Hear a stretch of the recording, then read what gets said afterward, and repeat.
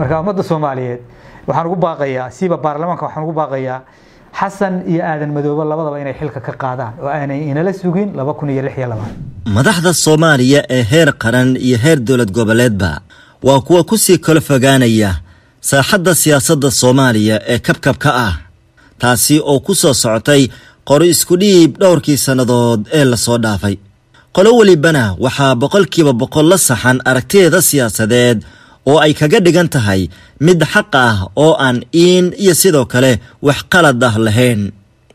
Saacadihii ugu dambeeyey saaxadda siyaasadda soomaaliya dhinacyada sida weyn u loolamaya gaar ahaan hoggaanka dowladda dhexe iyo labada maamul ee kale ah puntland iyo jubbaland waxa ay qolo weliba muujisay isbuufin siyaasadeed oo ay ku xoojinayso doonisteeda siyaasadeed.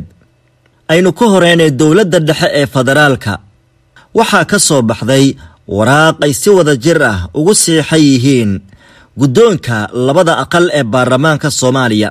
Waraaqdaasi oo ay ku magacaabeen guddi ka kooban shan iyo toban xubnood oo sanadka iyo golaha shacabka kuwaasi oo shaqada loo diray ay tahay. Kow diyaarinta xeerarka doorashooyinka labo ururada iyo axsaabta ama xisbiyada jamhuuriyadda federaalka soomaaliya iyo sharciga dhismaha guddiga doorashooyinka iyo sohdimaha ama xuduudaha dalka. Tallaabadan oo villa soomaaliya ku sii dhuujisay hamigeeda siyaasadeed ee nooca doorashooyin coddii qof waa mid aan dhankoodu u cuntamaynin garabyada kale ee siyaasadeed ee dowladda federaalka isku hayaan arrimaha masiiriga. Balse dhinaca kale maamulka puntland oo ah mid ka mid ah gaashaabuurta siyaasadeed ee muddo ka badan laba sano oo xiriir ah aysan isugu soo dhowaanin arrimaha siyaasadda gudaha ee dalka. Madaxweyne xasan sheekh maxamuud waxa ay dirtay puntland mar kale dhawaaq siyaasadeed oo aad u culus oo ah baaq iyo tilmaam ku socota xildhibaanada golaha shacabka iyo aqalka sare iyaga oo dalbaday in madaxweyne xasan sheekh maxamuud laga keeno mooshin xilka qaadis ah oo ay ku doonayaan in xilka laga xayuubiyo ka hor laba kun lix iyo labaatan taasi oo muujinaysa heerka cadhada iyo sii kala fogaanshaha dowladda dhexe iyo dowlad goboleedka puntland. Sida uu ku dhawaaqay wasiirka wasaaradda warfaafinta iyo dalxiiska ee dowlad goboleedka puntland maxamuud caydiid dirir oo ah gacanta midig ee madaxweyne saciid cabdulaahi dani. Waxaan raacinayaa xasan sheekh maxamuud ummadda soomaaliyeed waxqabadkii ay ka sugaysay saddex buu noqday waxay noqday mid uu dalka gudihiisa ku dhibaateeyo mid uu xabaasha kaga daba tago xabaasha ka soo faago iyo mid uu qurbaha ka soo tarxiilo. Waad maqlaysaan safar inuu jarmalka uu tegey heshiis wuxuu ku soo gelay baa layidhi dadka soomaaliyeed ayna sharciga siin dhammaantood iisoo tarxiila. Waa idinka qabanaya. Diyaaradaha soo saara anaa idinka qabanaye.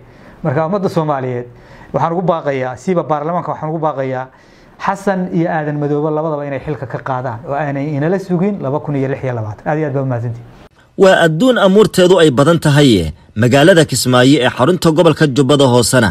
Waxaa buux dhaafiyey xildhibaano iyo senataro lixdan ku dhow oo deegaan doorashadoodu tahay jubbaland kuwaasi oo ajiibay ka qaybgalka shirkii uu ka casuumay. Xiddiga siyaasadeed ee aan shan iyo tobankii sane ee la soo dhaafay laga dhexweynin siyaasadda soomaaliya madaxweyne axmed maxamed islaam axmed madoobe maalmaha soo socdana waxaa magaalada kismaayo laga filan karaa dhawaaq kale oo siyaasadeed oo kaga sii dari kara saaxadda siyaasadda soomaaliya ee xilligan sii sara kacaysa. Dowladda uu hogaaminayo madaxweyne xasan sheekh maxamuud muddoxileedkeeda waxaa kaga harsan wax aanu dhammayn sanad iyo bar balse shaqada u taalla ay tahay mid aad u badan oo caqabadahoodu ay badan yihiin. Waxaana isweydiin mudan shaqooyinkaasi faraha badan ee arrimaha doorashooyinka ku jiraan iyo sanadka iyo barka u harsan dowladda soomaaliya.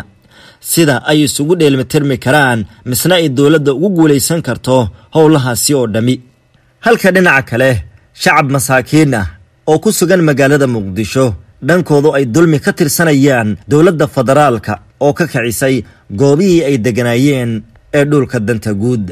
Cabdifataan maxamed cusmaan shabeelle t v muqdisho shirkadda beeko waa shirkadda ugu weyn ee bixisa adeega korontada soomaaliya. Beeko waxa ay koronto siisaa koonfurta soomaaliya sida banaadir jubbaland hirshabeelle iyo koonfur galbeed. Beeko waxa ay siisaa adeeg koronto oo dhammaystiran dhammaan toddobiyo tobanka degme ee gobolka banaadir iyo goobaha ugu waaweyn magaalada muqdisho sida airboorka aadan cadde dekedda muqdisho iyo dhammaan safaaradaha iyo hay'adaha caalamiga ah